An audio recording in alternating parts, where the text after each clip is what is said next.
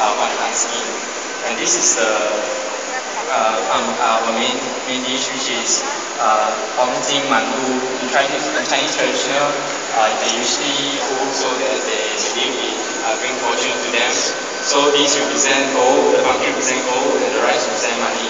So it's actually uh, a traditional dish.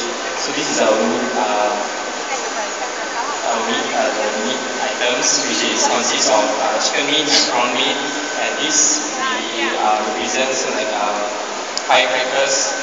We present like firecrackers. And we did eight, eight the meat items first is part eight in Chinese.